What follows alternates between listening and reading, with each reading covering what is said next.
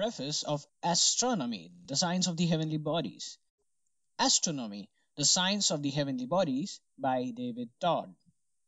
Preface Sir William Rowan Hamilton, the eminent mathematician of Dublin, has, of all writers, ancient and modern, most fittingly characterized the ideal science of astronomy as man's golden chain connecting the heavens to the earth, by which we learn the language and interpret the oracles of the universe. The oldest of the sciences, astronomy is also the broadest in its relations to human knowledge and the interests of mankind. Many are the cognate sciences upon which the noble structure of astronomy has been erected.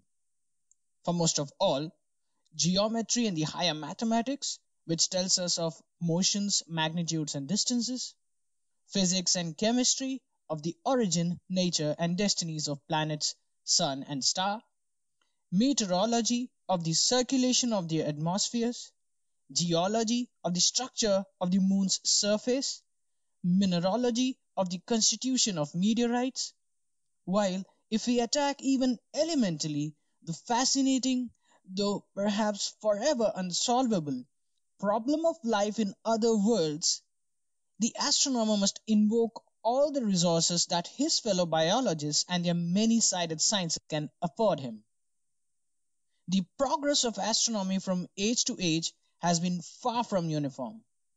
Rather by leaps and bounds from the earliest epoch when man's planet Earth was the center about which the stupendous cosmos wheeled, for whom it was created and for whose edification it was maintained down to the modern age, whose discoveries have ascertained that even our stellar universe, the vast region of the solar domain, is but one of the thousands of island universes that tenant the inconceivable immensities of space. Such results have been attainable only through the successful construction and operation of monster telescopes that bring to the eye and visualize on photographic plates the faintest of celestial objects which were the despair of astronomers only a few years ago. But the end is not yet. Astronomy today is but passing from infancy to youth, and with new and greater telescopes, with new photographic processes of higher sensitivity, with the help of modern invention in overcoming the obstacles of the air that constant foe of the astronomer? Who will presume to set down any limit to the leaps and bounds of astronomy in the future? So rapid, indeed, has been the progress of astronomy in very recent years that the present is especially favorable for setting forth its salient features, and this book is an attempt to present the wide range of astronomy in readable fashion as if a story with a definite plot, from its origin with the shepherd of ancient Chaldea down to the present day ascertainment of the actual scale of the universe, and definite measures of the huge volume of supersolar giants among the stars. David Todd, Amherst College Observatory, November 1921. End of preface.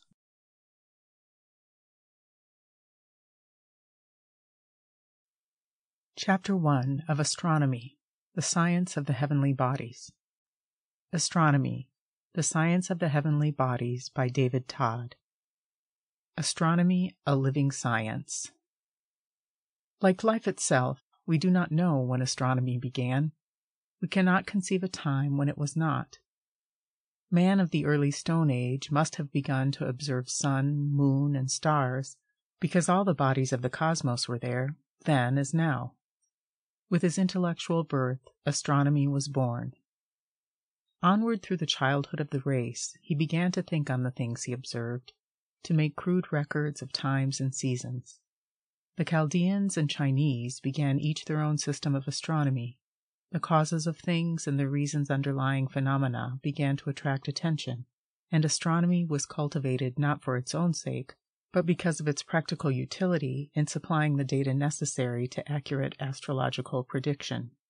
Belief in astrology was universal. The earth set in the midst of the wonders of the sky was the reason for it all. Clearly, the earth was created for humanity. So, too, the heavens were created for the edification of the race. All was subservient to man. Naturally, all was geocentric or earth centered. From the savage who could count only to five, the digits of one hand, civilized man very slowly began to evolve. He noted the progress of the seasons. The old records of eclipses showed Thales and early Greek how to predict their happenings, and true science had its birth when man acquired the power to make forecasts that always came true. Few ancient philosophers were greater than Pythagoras, and his conceptions of the order of the heavens and the shape and motion of the earth were so near the truth that we sometimes wonder how they could have been rejected for twenty centuries. We must remember, however, that man had not yet learned the art of measuring things, and the world could not be brought into subjection to him until he had. To measure, he must have tools, instruments. To have instruments, he must learn the art of working in metals, and all this took time. It was a slow and in large part imperceptible process. It is not yet finished. The earliest really sturdy manifestation of astronomical life came with the birth of Greek science, culminating with Aristarchus, Hipparchus, and Ptolemy. The last of these great philosophers, realizing that only the art of writing prevents man's knowledge from perishing with him, set down all the astronomical knowledge of that day in one of the three greatest books on astronomy ever written, the Almagest, a name for it derived through the Arabic, and really meaning the greatest. The system of earth and heaven seemed as if finished, and the authority of Ptolemy and his Almagest were as holy writ for the unfortunate centuries that followed him. With fatal persistence, the fundamental error of his system delayed the evolutionary life of the science through all that period.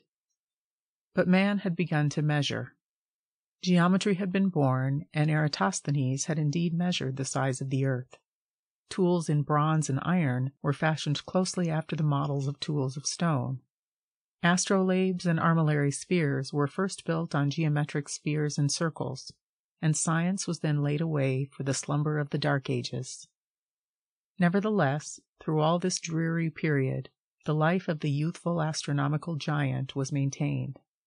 Time went on, the heavens revolved, sun, moon, and stars kept their appointed places, and Arab and Moor and the savage monarchs of the East were there to observe and record, even if the world mind was lying fallow, and no genius had been born to inspire anew that direction of human intellect on which the later growth of science and civilization depends. With the growth of the collective mind of mankind, from generation to generation, we note that ordered sequence of events which characterizes the development of astronomy from earliest peoples down to the age of Newton, Herschel, and the present. It is the unfolding of a story as if with a definite plot from the beginning.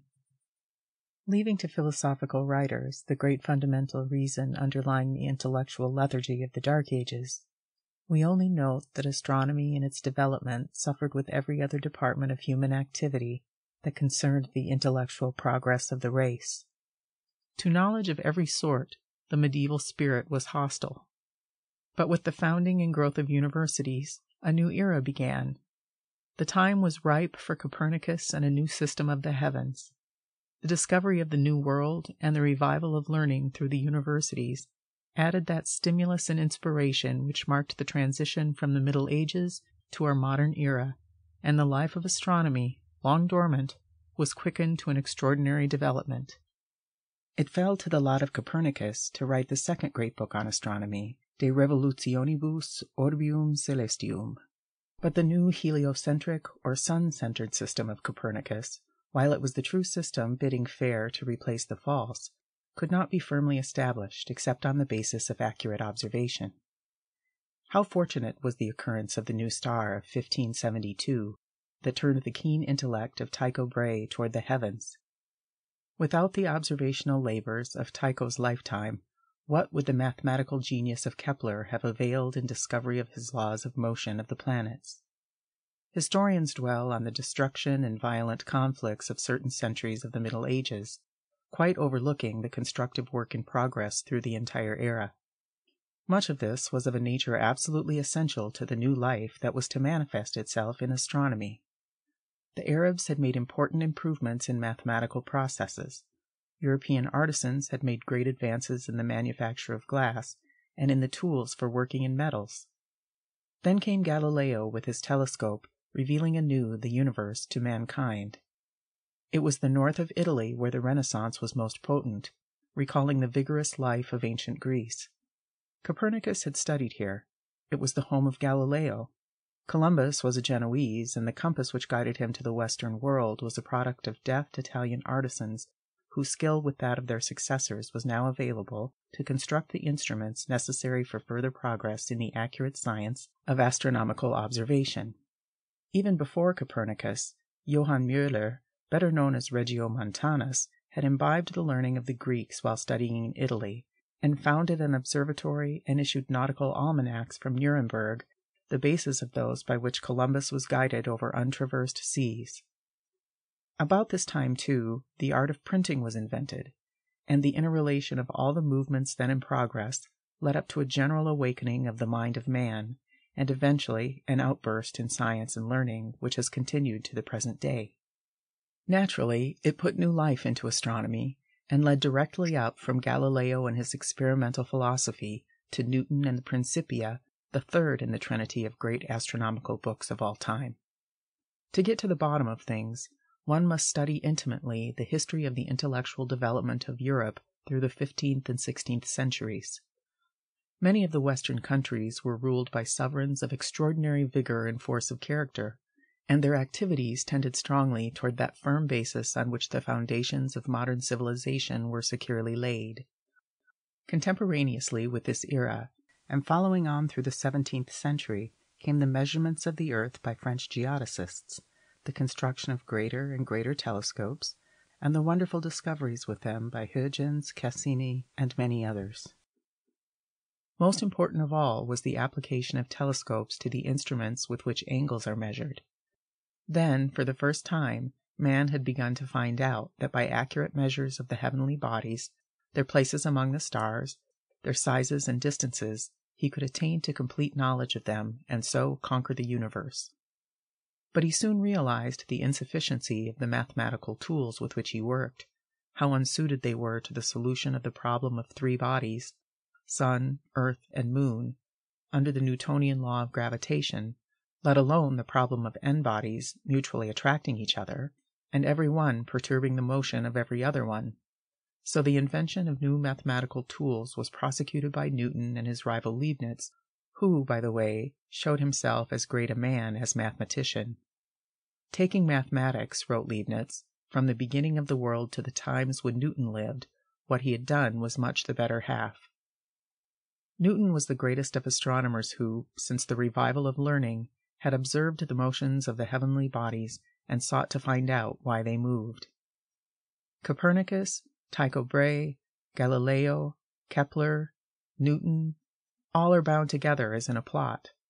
Not one of them can be dissociated from the greatest of all discoveries.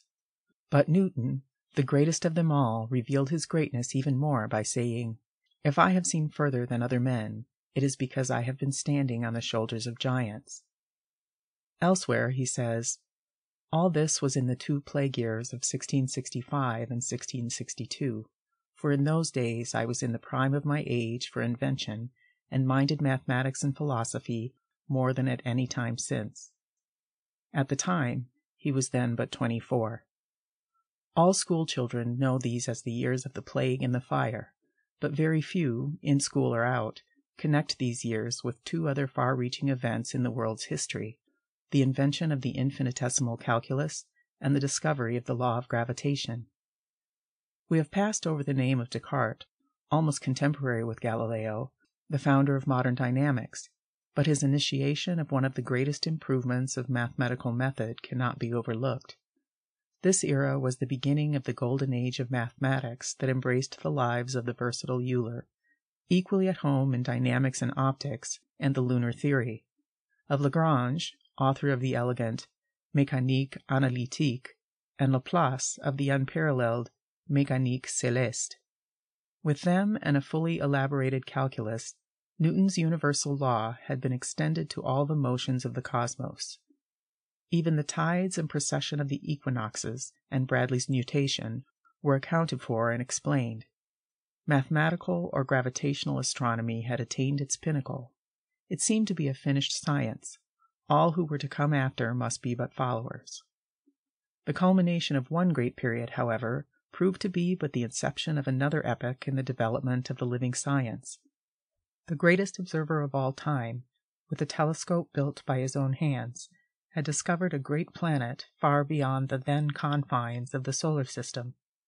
Mathematicians would take care of Uranus, and Herschel was left free to build bigger telescopes still and study the construction of the stellar universe. Down to his day, astronomy had dealt almost wholly with the positions and motions of the celestial bodies. Astronomy was a science of where. To inquire what the heavenly bodies are seemed to Herschel worthy of his keenest attention also. While a knowledge of the construction of the heavens has always been the ultimate object of my observations, as he said, and his ingenious method of star gauging was the first practicable attempt to investigate the construction of the sidereal universe, he nevertheless devoted much time to the description of nebulae and their nature, as well as their distribution in space. He was the founder of double star astronomy, and his researches on the light of the stars by the simple method of sequences were the inception of the vast fields of stellar photometry and variable stars. The physics of the sun, also, was by no means neglected, and his life work earned for him the title of Father of Descriptive Astronomy. While progress and discovery in the earlier fields of astronomy were going on, the initial discoveries in the vast group of small planets were made at the beginning of the nineteenth century. The great Bessel added new life to the science by revolutionizing the methods and instruments of accurate observation his work culminating in the measure of the distance of 61 Cygni, first of all the stars whose distance from the sun became known. Wonderful as was this achievement, however, a greater marvel still was announced just before the middle of the century. A new planet far beyond Uranus, whose discovery was made as a direct result of mathematical researches by Adams and Leverrier, and affording an extraordinary verification of the great Newtonian law. These were the days of great discoveries, and about this time the giant of all the astronomical tools of the century was erected by Lord Rosse, the Leviathan reflector with a speculum six feet in diameter, which remained for more than half a century the greatest telescope in the world, and whose epochal discovery of spiral nebulae has greater significance than we yet know, or perhaps even surmise. The living science was now at the height of a vigorous development, when a revolutionary discovery was announced by Kirchhoff which had been hanging fire nearly half a century, the half century, too, which had witnessed the invention of photography, the steam engine, the railroad, and the telegraph. Three simple laws by which the dark absorption lines of a spectrum are interpreted, and the physical and chemical constitution of sun and stars ascertained, no matter what their distance from us. Huggins in England and Secchi in Italy were quick to apply the discovery to the stars, and Draper and Pickering, by masterly organization, have photographed and classified the spectra of many hundred thousand stars of both hemispheres, a research of the highest importance which has proved of unique service in studies of stellar movements and the structure of the universe by Eddington and Shapley, Campbell and Kapteyn, with many others who are still engaged in pushing our knowledge far beyond the former confines of the universe. Few are the branches of astronomy that have not been modified by photography and the spectroscope. It has become a measuring tool of the first order of accuracy, measuring the speed of stars and nebulae toward and from us, measuring the rotational speed of sun and planets, corona and Saturnian ring, measuring the distances of whole classes of stars from the solar system, measuring afresh even the distance of the sun, the yardstick of our immediate universe measuring the drift of the sun with his entire family of planets twelve miles every second in the direction of Alpha Lyrae, and discovering and measuring the speed of binary suns too close together for our telescopes, and so making real the astronomy of the invisible. Impatient of the handicap of a turbulent atmosphere, the living science has sought out mountain tops and there erected telescopes vastly greater than the Leviathan of a past century. There the sun in every detail of disk and spectrum is photographed by day, and stars with their spectra and the nebulae by night. Great streams of stars are discovered, and the speed and direction of their drift ascertained. The marvels of the spiral nebulae are unfolded, their multitudinous forms portrayed and deciphered. And their distances? And the distances of the still more wonderful clusters? Far, inconceivably far beyond the Milky Way. And are they island universes? And can man, the measurer, measure the distance of the mainland beyond? End of chapter 1. Chapter 2 of Astronomy, the Science of Heavenly Bodies. Astronomy, the Science of the Heavenly Bodies by David Todd. The First Astronomers. Who were the first astronomers, and who wrote the first treatise on astronomy, oldest of the sciences? Questions are not easy to answer in our day. With the progress of archaeological research or inquiry into the civilization and monuments of early peoples, it has become certain that man has lived on this planet Earth for tens of thousands of years in the past as an intelligent, observing, intellectual being, and it is impossible to assign any time so remote that he did not observe and philosophize upon the firmament above. We can hardly imagine a people so primitive that they would fail to regard the sun as Lord of the day and therefore all important in the scheme of things terrestrial. Says Anne Bradstreet of the sun in her Contemplations What glories like to thee, soul of this world, this universe's eye? No wonder some made thee deity. To the Babylonians belongs the credit of the oldest known work on astronomy. It was written nearly 6,000 years ago, about BC 3800, by their monarch, Sargon I, king of Agade. Only the merest fragments of this historic treatise have survived, and they indicate the reverence of the Babylonians for the sun. Another work by Sargon is entitled Omens, which shows the intimate relationship of astronomy to mysticism and superstitious worship at this early date, and which persists even at the present day. As remotely as BC 3000, the sun god Shamash and his wife Aya are carved upon the historic cylinders of hematite and lapis lazuli and one of the oldest designs on these cylinders represents the sun god coming out of the door of sunrise while a porter is opening the gate of the east. The Semitic religion has as its basis a reverence for the bodies of the sky, and Samson, Hebrew for sun, was probably the sun god of the Hebrews. The Phoenician deity Baal was a sun god under differing designations, and at the epoch of the Shepherd Kings, about BC 1500, during the Hyksos dynasty, the sun god was represented by a circle or disk with extending rays ending in hands, possibly the precursor of the frequently recurring Egyptian design of the winged disk or winged solar globe. Hittites, Persians, and Assyrians, as well as the Phoenicians, frequently represented the sun god in similar fashion in their sacred glyphs or carvings.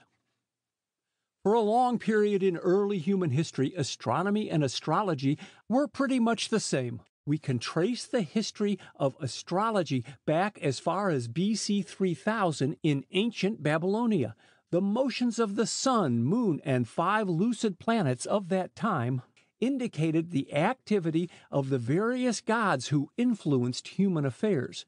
So the Babylonian priests devised an elaborate system of interpreting the phenomena of the heavens and attaching the proper significance in human terms to everything that took place in the sky. In Babylonia and Assyria, it was the king and his people for whom the prognostications were made out. It was the same in Egypt, Later, about the 5th century BC, astrology spread through Greece, where astrologers developed the idea of the influence of planets upon individual concerns. Astrology persisted through the Dark Ages, and the great astronomers Copernicus, Tycho, Kepler, Gassendi, Huygens were all astrologers as well. Milton makes many references to planetary influence. Our language has many words with a direct origin in astrology. And in our great cities today are many astrologers who prepare individual horoscopes of more than ordinary interest. It is difficult to assign the antiquity of the Chinese astronomy with any approach to definiteness. Their earliest records appear to have been total eclipses of the sun, going back nearly 2,200 years before the Christian era, and nearly a thousand years earlier, the Hindu astronomy sets down a conjunction of all the planets, concerning which, however, there is doubt whether it was actually observed or merely calculated backward owing to a colossal misfortune, the burning of all native scientific books by order of the Emperor Sin Chai Huang Ti in BC 221, excepting only the volumes related to agriculture, medicine, and astrology. The Chinese lost a precious mass of astronomical learning accumulated through the ages. No less an authority than Wells Williams credits them with observing 600 solar eclipses between BC 2159 and AD 1223, and there must have been some centuries of eclipses observed and recorded anterior to BC 2159, as this is the date assigned to the eclipse which came unheralded by the astronomers royal, Hi and Ho who had become intoxicated and forgot to warn the court in accord with their duty. China was thereby exposed to the anger of the gods, and Hi and Ho were executed by His Majesty's command. It is doubtful if there is an earlier record of any celestial phenomenon. End of chapter 2.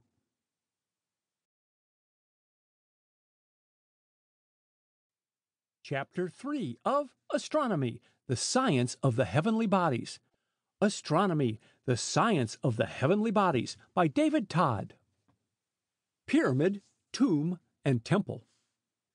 Inquiry into the beginnings of astronomy in ancient Egypt reveals most interesting relations of the origins of the science to life and work and worship of the people. Their astronomers were called the mystery teachers of heaven their monuments indicate a civilization more or less advanced, and their temples were built on astronomical principles and dedicated to the purpose of worship.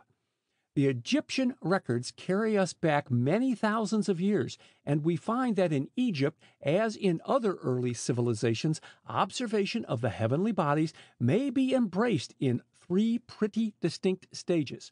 Awe, fear, wonder, and worship were the first. Then came utility. A calendar was necessary to tell men when to plow and sow, to reap and mow. And a calendar necessitated astronomical observations of some sort. Following this, the third direction required observations of celestial positions and phenomena also, because astrology, in which the potentates of every ancient realm believed, could only thrive as it was based on astronomy. Sun worship was preeminent in early Egypt, as in India, where the primal antithesis between night and day struck terror in the unformed mind of man. In one of the Vedas occurs this significant song to the god of the day Will the sun rise again? Will our old friend the dawn come back again? Will the power of darkness be conquered by the god of light? Quite different from India, however, is Egypt in matters of record. In India, records in papyrus, but no monuments of very great antiquity. In Egypt, no papyrus, but monuments of exceeding antiquity in abundance.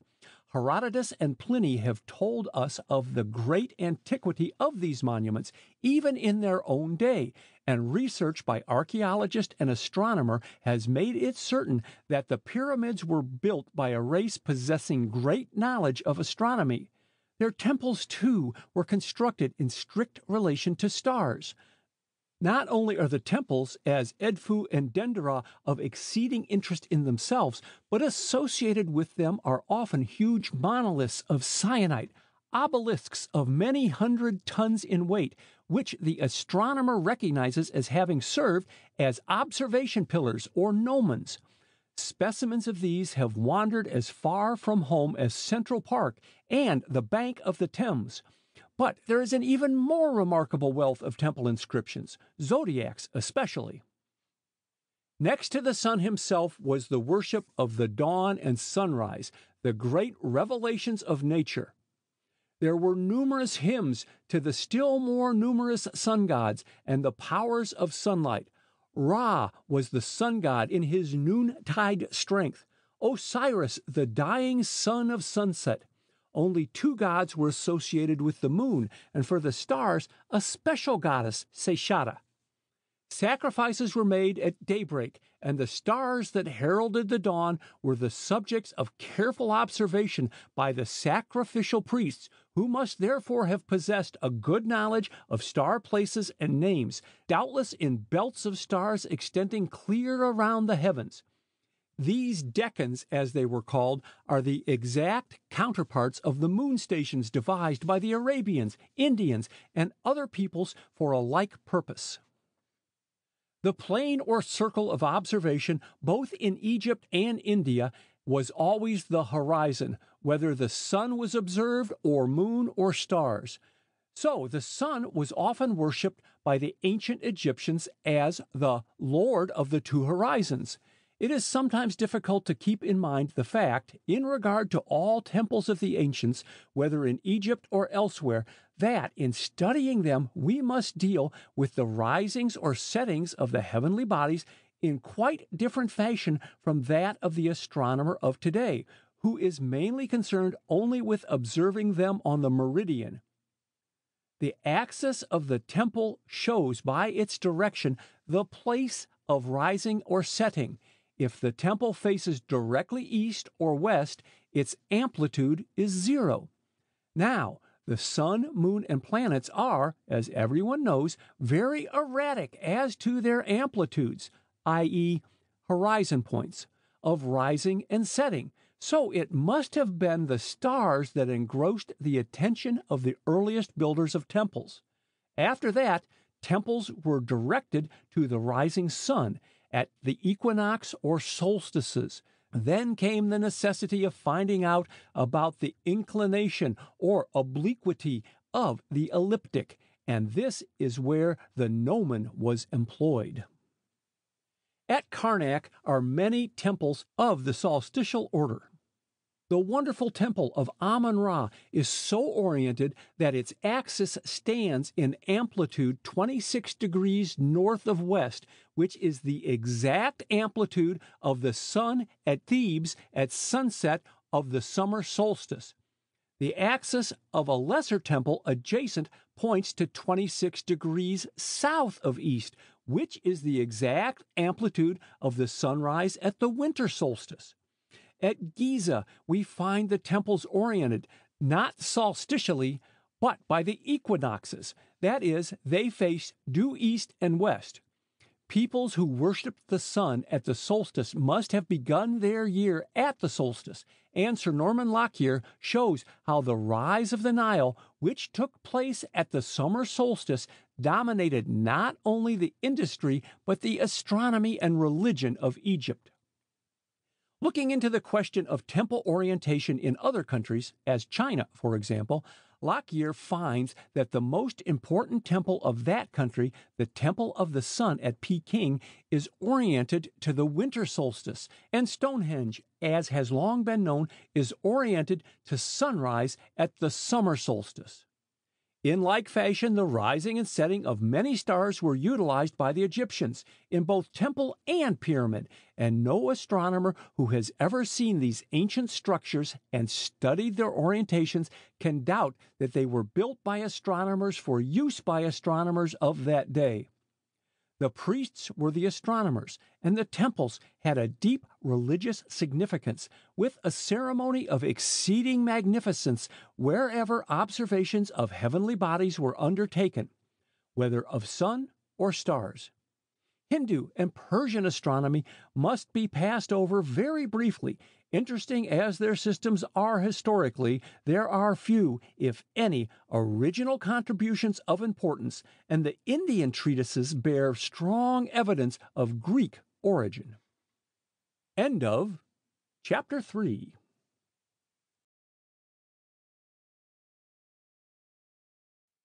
Chapter 4 of Astronomy, the Science of the Heavenly Bodies. Astronomy, the Science of Heavenly Bodies by David Todd. Origin of Greek Astronomy. While the Greeks laid the foundations of modern scientific astronomy, they were not as a whole observers, rather philosophers, we should say. The later representatives of the Greek school, however, saw the necessity of observation as a basis of true induction and they discovered that real progress was not possible unless their speculative ideas were sufficiently developed and made definite by the aid of geometry, so that they became capable of detailed comparison with observation. This was the necessary and ultimate test with them, and the same is true today. The early Greek philosophers were, however, mainly interested not in observations, but in guessing the causes of phenomena. Thales of Miletus, founder of the Ionian school, introduced the system of Egyptian astronomy into Greece about the end of the 7th century BC. He is universally known as the first astronomer who ever predicted a total eclipse of the sun that happened when he said it would the eclipse of BC 585. This he did by means of the Chaldean eclipse cycle of 18 years, known as the Saros. Aristarchus of Samos was the first and most eminent of the Alexandrian astronomers, and his treatise on the magnitudes and distances of the sun and moon is still extant. This method of ascertaining how many times farther the sun is than the moon is very simple and geometrically exact. Unfortunately, it is impossible even today to observe with accuracy the precise time when the moon quarters, an observation essential to his method, because the moon's terminal or line between day and night is not a straight line, as required by theory, but a jagged one by his observation, the sun was only 20 times farther away than the moon, a distance which we know to be nearly 20 times too small. His views regarding other astronomical questions were right, although they found little favor among contemporaries. Not only was the Earth spherical, he said, but it rotated on its axis and also traveled round the Sun. Aristarchus was indeed the true originator of the modern doctrine of motions in the solar system, and not Copernicus 17 centuries later. But Seleucus appears to have been his only follower in these very advanced conceptions.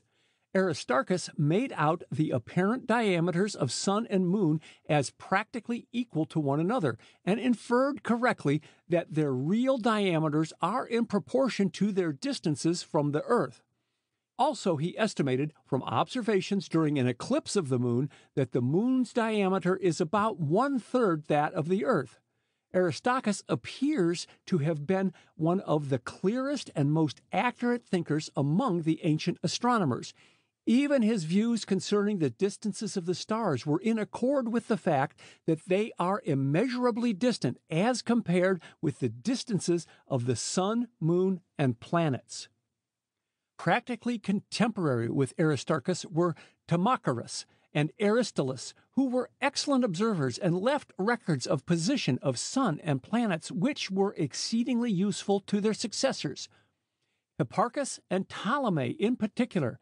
Indeed, their observations of star positions were such that, in a way, they deserve the fame of having made the first catalogue rather than Hipparchus, to whom is universally accorded that honor. Spherical astronomy had its origin with the Alexandrian school, many famous geometers, and in particular Euclid, pointing the way.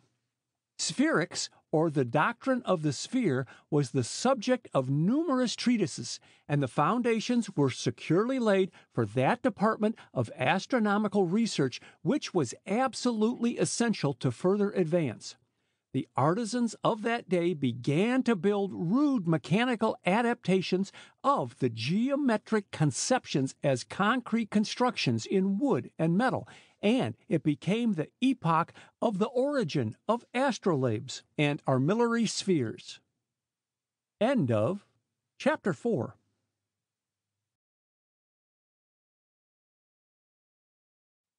Chapter 5 of Astronomy, the Science of the Heavenly Bodies. Astronomy, the Science of the Heavenly Bodies by David Todd. Measuring the Earth, Eratosthenes. All told, the Greek philosophers were probably the keenest minds that ever inhabited the planet, and we cannot suppose them so stupid as to reject the doctrine of a spherical Earth. In fact, so certain were they that the Earth's true figure is a sphere that Eratosthenes in the 3rd century BC made the first measure of the dimensions of the terrestrial sphere by a method geometrically exact. At Syene in Upper Egypt, the sun at the summer solstice was known to pass through the zenith at noon, whereas at Alexandria, Eratosthenes estimated its distance as 7 degrees from the zenith at the same time. This difference being about one fiftieth of the entire circumference of a meridian. Eratosthenes correctly inferred that the distance between Alexandria and Syene must be one fiftieth of the Earth's circumference. So he measured the distance between the two and found it 5,000 stadia. This figured out the size of the Earth with a percentage of error surprisingly small when we consider the rough means with which Eratosthenes measured the Sun's zenith distance and the distance between the two stations. Greatest of all the Greek astronomers, and one of the greatest in the history of the science, was Hipparchus, who had an observatory at Rhodes in the middle of the second century BC. His activities covered every department of astronomy. He made extensive series of observations, which he diligently compared with those handed down to him by the earlier astronomers, especially Aristillus and Timocharis.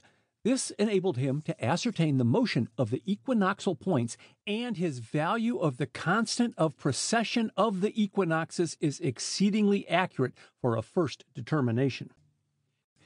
In 134 BC, a new star blazed out in the constellation Scorpio, and this set Hipparchus at work on a catalog of the brighter stars of the firmament, a monumental work of true scientific conception because it would enable the astronomers of future generations to ascertain what changes, if any, were taking place in the stellar universe. There were 1,080 stars in his catalog, and he referred their positions to the ecliptic and the equinoxes. Also, he originated the present system of stellar magnitudes or orders of brightness, and his catalog was in use as a standard for many centuries. Hipparchus was a great mathematician as well, and he devoted himself to the improvement of the method of applying numerical calculations to geometrical figures trigonometry, both plane and spherical, that is, and by some authorities he is regarded as the inventor of the original methods in trigonometry. The system of spheres of Eudoxus did not satisfy him, so he devised a method of representing the paths of the heavenly bodies by perfectly uniform motion in circles. There is slight evidence that Apollonius of Perga may have been the originator of the system, but it was reserved for Hipparchus to work it out in its final form. This enabled him to ascertain the varying length of the seasons, and he fixed the true length of the year as 365 and one quarter days. He had almost equal success in dealing with the irregularities of the moon's motion, although the problem is much more complicated. The distance and size of the moon by the method of Aristarchus were improved by him, and he worked out for the distance of the sun 1200 radii of the earth, a classic for many centuries. Hipparchus devoted much attention to eclipses of both the sun and moon, and we owe to him the first elucidation of the subject of parallax, or the effect of difference of position of an observer on the Earth's surface as affecting the apparent projection of the moon against the sun when a solar eclipse takes place. Whereas an eclipse of the moon is unaffected by parallax and can be seen at the same time by observers everywhere, no matter what their location on the Earth. Indeed, with all that Hipparchus achieved, we need not be surprised that astronomy was regarded as a finished science and made practically no progress whatever for centuries after his time. Then came Claudius Ptolemaeus, generally known as Ptolemy, the last great name in Greek astronomy. He lived in Alexandria about the middle of the second century AD and wrote many minor astronomical and astrological treatises, also works on geography and optics, in the last of which the atmospheric refraction of rays of light from heavenly bodies, apparently elevating them toward the zenith, is first dealt with in true form. End of chapter 5.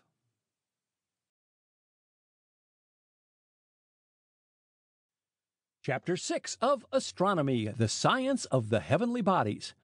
Astronomy, the Science of the Heavenly Bodies, by David Todd. Ptolemy and his Great Book. Ptolemy was an observer of the heavens, though not of the highest order, but he had all the work of his predecessors, best of all, Hipparchus, to build upon.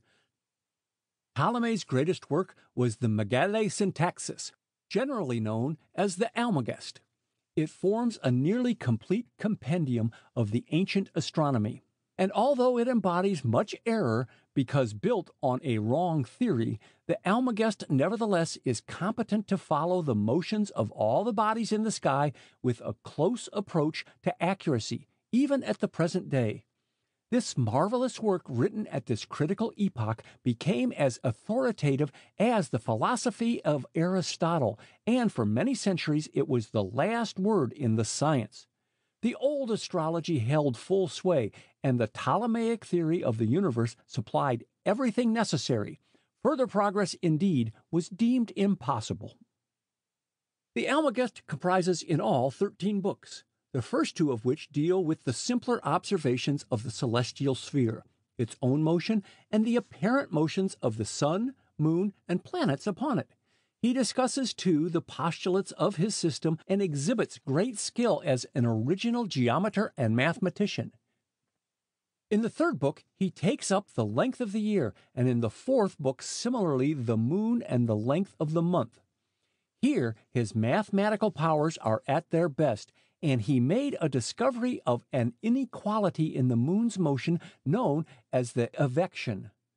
Book 5 describes the construction and use of the astrolabe, a combination of graduated circles with which Ptolemy made most of his observations.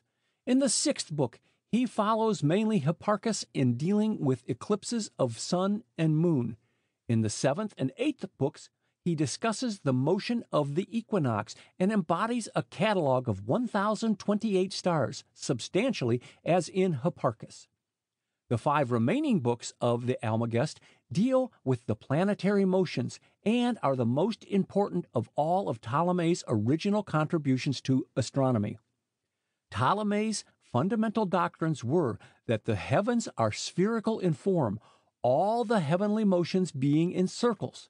In his view, the Earth too is spherical and is located at the center of the universe, being only a point, as it were, in comparison.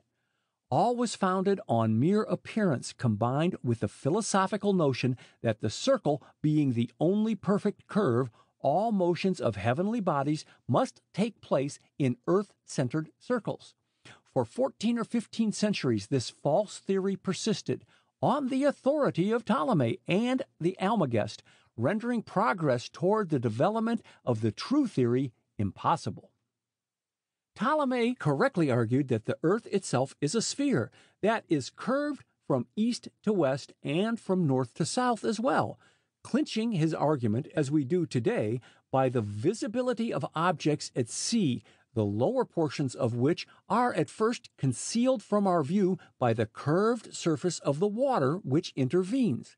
To Ptolemy also, the earth is at the center of the celestial sphere, and it has no motion of translation from that point. But his argument fails to prove this.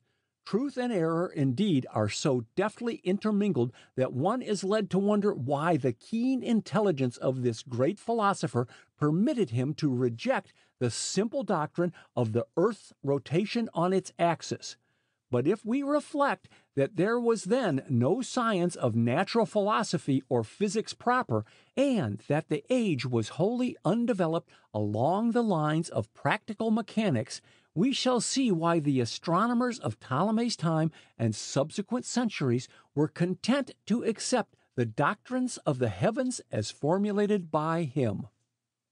When it came to explaining the movements of the wandering stars, or planets as we term them, the Ptolemaic theory was very happy in so far as accuracy was concerned, but very unhappy when it had to account for the actual mechanics of the cosmos in space. Sun and moon were the only bodies that went steadily onward, easterly, whereas all others, Mercury, Venus, Mars, Jupiter, Saturn, although they moved easterly most of the time, nevertheless would at intervals slow down to stationary points, where for a time they did not move at all, and then actually go backward to the west or retrograde, then become stationary again, finally resuming their regular onward motion to the east. To help out of this difficulty, the worst possible mechanical scheme was invented, that known as the epicycle. Each of the five planets was supposed to have a fictitious double, which traveled eastward with uniformity, attached to the end of a huge but mechanically impossible bar. The Earth centered circle in which this traveled round was called the deferent. What this bar was made of, what stresses it would be subjected to, or what its size would have to be in order to keep from breaking, none of these questions seem to have agitated the ancient and medieval astronomers any more than the flat earth astronomy of the Hindu is troubled by the necessity of something to hold up the tortoise that holds up the elephant that holds up the earth. But at the end of this bar is jointed or swiveled another shorter bar, to the revolving end of which is attached the actual planet itself. And the second bar, swinging once round the end of the primary advancing bar, would account for the backward or retrograde motion of the planet as seen in the sky. For every new irregularity that was found in the motion of Mars, for instance, a new and additional bar was requisitioned until interplanetary space was hopelessly filled with revolving bars, each producing one of the epicycles, some large, some small, that were needed to take up the vagaries of the several planets. The Arabic astronomers who kept the science alive through the Middle Ages added epicycle to epicycle until there was every justification for Milton's verses descriptive of the sphere. With centric and eccentric scribbled o'er, cycle and epicycle, orb in orb. End of chapter 6.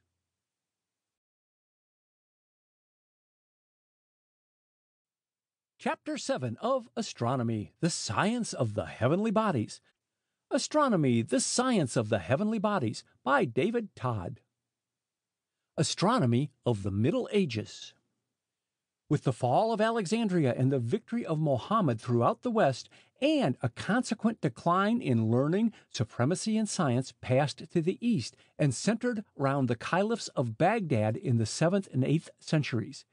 They were interested in astronomy only as a practical and to them useful science in adjusting the complicated lunar calendar of the Mohammedans, in ascertaining the true direction of Mecca, which every Mohammedan must know, and in the revival of astrology to which the Greeks had not attached any particular significance. Harun al Rashid ordered the Almagest and many other Greek works translated, of which the modern world would otherwise no doubt never have heard, as the Greek originals are not extant. Splendid observatories were built at Damascus and Baghdad, and fine instruments patterned after Greek models were continuously used in observing. The Arab astronomers, although they had no clocks, were nevertheless so fully impressed by the importance of time that they added extreme value to their observation of eclipses, for example, by setting down the altitudes of sun or stars at the same time. On very important occasions, the records were certified on oath by a body of barristers and astronomers conjointly a precedent which fortunately has never been followed. About the middle of the ninth century, the Caliph Al Mamun directed his astronomers to revise the Greek measures of the earth's dimensions, and they had less reverence for the Almagest than existed in later centuries. Indeed, Thabit ben Qurra invented and applied to the tables of the Almagest a theoretical fluctuation in the position of the ecliptic, which he called trepidation, which brought sad confusion into astronomical tables for many succeeding centuries.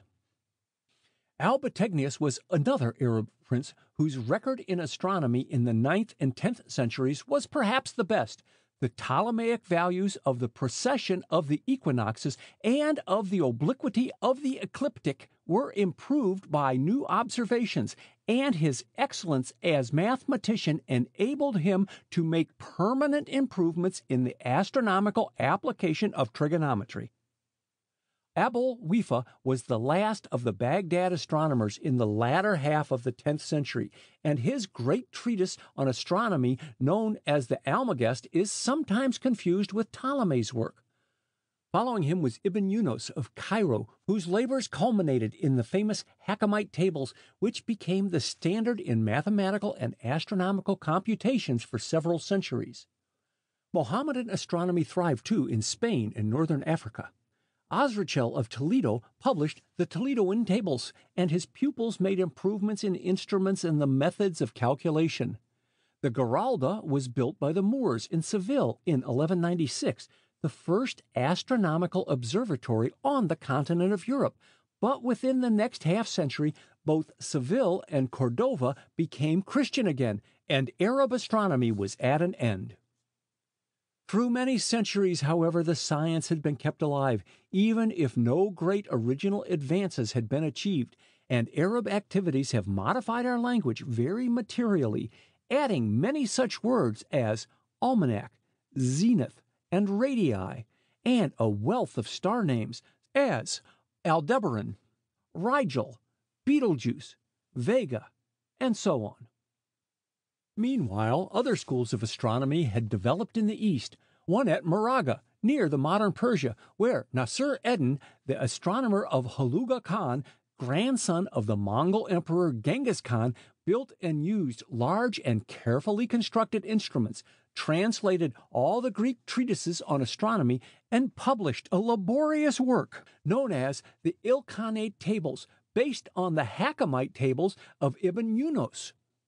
More important still was the Tartar school of astronomy under Ulugh Beg, a grandson of Tamerlane, who built an observatory at Samarkand in 1420, published new tables of the planets, and made with his excellent instruments the observations for a new catalogue of stars, the first since Hipparchus, the star places being recorded with great precision. The European astronomy of the Middle Ages amounted to very little besides translation from the Arabic authors into Latin with commentaries. Astronomers under the patronage of Alfonso X of Leon and Castile published in 1252 the Alphonsine tables, which superseded the Toledan tables and were accepted everywhere throughout Europe. Alfonso published also the Libros del Saber, perhaps the first of all astronomical cyclopedias, in which is said to occur the earliest diagram representing a planetary orbit as an ellipse, Mercury's supposed path around the Earth as a center. Purbach of Vienna, about the middle of the 15th century, began his Epitome of Astronomy based on the Almagest of Ptolemy, which was finished by his collaborator Regiomontanus, who was an expert in mathematics and published a treatise on trigonometry with the first table of sines, calculated for every minute from 0 degrees to 90 degrees, a most helpful contribution to theoretical astronomy. Regiomontanus had a very picturesque career, finally taking up his residence in Nuremberg, where a wealthy citizen named Walther became his patron, pupil, and collaborator. The artisans of the city were set at work on astronomical instruments of the greatest accuracy, and the comet of 1472 was the first to be observed and studied in true scientific fashion. Regiomontanus was very progressive, and the invention of the new art of printing gave him an opportunity to publish Purbach's treatise, which went through several editions and doubtless had much to do in promoting dissatisfaction with the ancient Ptolemaic system and was thus most significant in preparing a background for the coming of the new Copernican order. The Nuremberg presses popularized astronomy in other important ways, issuing almanacs, the first precursors of our astronomical ephemerides. Regiomontanus was practical as well and invented a new method of getting a ship's position at sea with tables so accurate that they superseded all others in the great voyages of discovery, and it is probable that they were employed by Columbus in his discovery of the American continent. Regiomontanus had died several years earlier in 1475 at Rome, where he had gone by invitation of the Pope to effect a reformation in the calendar. He was only 40, and his patron, Walther, kept on with excellent observations, the first probably to be corrected for the effect of atmospheric refraction, although its influence had been known since Ptolemy. The Nuremberg school lasted for nearly two centuries. Nearly contemporary with Regiomontanus were Fracastoro and Peter Apian, whose original observations on comets are worthy of mention because they first noticed that the tails of these bodies always point away from the sun. Leonardo da Vinci was the first to give the true explanation of earthshine on the moon, and similarly the moon illumination of the earth, and this no doubt had great weight in disposing of the popular notion of an essential difference of nature between the earth and celestial bodies, all of which helped to prepare the way for Copernicus and the great revolution in astronomical thought. End of Chapter 7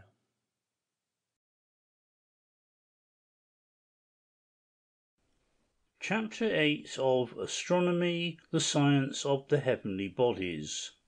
Astronomy, the Science of the Heavenly Bodies by David Todd.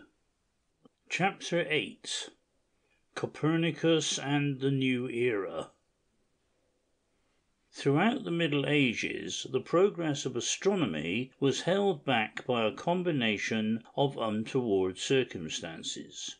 A prolonged reaction from the heights attained by the Greek philosophers was to be expected. The uprising of the Mohammedan world and the savage conquerors in the East did not produce conditions favorable to the origin and development of great ideas. At the birth of Copernicus, however, in 1473, the time was ripening for fundamental changes from the ancient system, the error of which had helped to hold back the development of the science for centuries. The fifteenth century was most fruitful in a general quickening of intelligence, the invention of printing had much to do with this, as it spread a knowledge of the Greek writers and led to conflict of authorities. Even Aristotle and Ptolemy were not entirely in harmony, yet each was held inviolate. It was the age of the Reformation, too, and near the end of the century the discovery of America exerted a powerful stimulus in the advance of thought. Copernicus searched the works of the ancient writers and philosophers, and embodied in this new order such of their ideas as commended themselves in the elaboration of his own system. Pythagoras alone and his philosophy looked in the true direction. Many believe that he taught that the sun, not the earth, is the center of our solar system, but his views were mingled with the speculative philosophy of the Greeks, and none of his writings, barring a few meager fragments, have come down to our modern age. To many philosophers, through all these long centuries, the true theory of the celestial motions must have been obvious but their views were not formulated, nor have they been preserved in writing. So the fact remains that Copernicus alone first proved the truth of the system which is recognized today. This he did in his great treatise entitled De Revolutionibus Orbium Coelestium the first printed copy of which was dramatically delivered to him on his deathbed in May 1543. The seventy years of his life were largely devoted to the preparation of this work, which necessitated many observations as well as intricate calculations based upon them. Being a canon in the Church, he naturally hesitated about publishing his revolutionary views, his friend Rheticus first doing this for him in outline in 1540. So simple are the great principles that they may be embodied in very few words. What appears to us as the daily revolution of the heavens is not a real motion, it is only an apparent one. That is, the heavens are at rest, while the earth itself is in motion, turning around an axis which passes through its center, and the second proposition is that the earth is simply one of six known planets, and they all revolve around the sun as the true center. The solar system, therefore, is heliocentric or sun centered, not geocentric or earth centered as taught by the Ptolemaic theory. Copernicus demonstrates clearly how his system explains the retrograde motion of the planets and their stationary points, no matter whether they are within the orbit of the Earth, as Mercury and Venus, or outside of it, as Mars, Jupiter, and Saturn. His system provides also the means of ascertaining with accuracy the proportions of the solar system, or the relative distances of the planets from the sun and from each other. In this respect also his system possessed a vast advantage over that of Ptolemy, and the planetary distances which Copernicus computed are very close approximations to the measures of the present day. Reinhold revised the calculations of Copernicus and prepared the Tabulae Prutenicae based on the De Revolutionibus, which proved far superior to the Alphonsine tables and were only supplanted by the Rudolphine tables of Kepler. On the whole, we may regard the life work of Copernicus as fundamentally the most significant in the history and progress of astronomy. End of chapter 8. Chapter 9 of Astronomy, the Science of the Heavenly Bodies. Astronomy, the Science of the Heavenly Bodies, by David Todd. Tycho, the Great Observer. Clear as Copernicus had made the demonstration of the truth of his new system, it nevertheless failed of immediate and universal acceptance. The Ptolemaic system was too strongly entrenched, and the motions of all the bodies in the sky were too well represented by it. Accurate observations were greatly needed, and the Landgrave William IV of Hesse built the Cassel Observatory, which made a new catalogue of stars and introduced the use of clocks to carry on the time as measured by the uniform motion of the celestial sphere. Three years after the death of Copernicus, Tycho Brahe was born, and when he was thirty the King of Denmark built for him the famous observatory of Uraniborg, where the great astronomer passed nearly a quarter of a century in critically observing the positions of the stars and planets. Tycho was celebrated as a designer and constructor of new types of astronomical instruments, and he printed a large volume of these designs, which form the basis of many in use at the present day. Unfortunately for the genius of Tycho and the significance of his work, the invention of the telescope had not yet been made, so that his observations had not the modern degree of accuracy. Nevertheless, they were destined to play a most important part in the progress of astronomy. Tycho was sadly in error in his rejection of the Copernican system, although his reasons in his day seemed unanswerable. If the outer planets were displaced among the stars by the annual motion of the earth round the sun, he argued, then the fixed stars must be similarly displaced, unless indeed they be at such vast distances that their motions would be too slight to be visible. Of course, we know now that this is really true, and that no instruments that Tycho was able to build could possibly have detected the motions, the effect of which we now recognize in the case of the nearer fixed stars in their annual or parallactic orbits. The remarkably accurate instruments devised by Tycho Brahe and employed by him in improving the observations of the positions of the heavenly bodies were no doubt built after descriptions of astrolabes such as Hipparchus used, as described by Ptolemy. In his Astronomiae Instauratae Mechanica we find illustrations and descriptions of many of them. One is a polar astrolabe, mounted somewhat as a modern equatorial telescope is, and the meridian circle is adjustable so that it can be used in any place, no matter what its latitude might be. There is a graduated equatorial ring at right angles to the polar axis, so that the astrolabe could be used for making observations outside the meridian as well as on it. This equatorial circle slides through grooves and is furnished with movable sights, and a plumb line from the zenith or highest point of the meridian circle makes it possible to give the necessary adjustment in the vertical. Screws for adjustment at the bottom are provided, just as in our modern instruments, and two observers were necessary, taking their sights simultaneously, unless, as in one type of the instrument, a clock or some sort of measure of time was employed. We hope you enjoyed this preview. To continue listening to this audiobook on Google Play Books, use the link in the video description.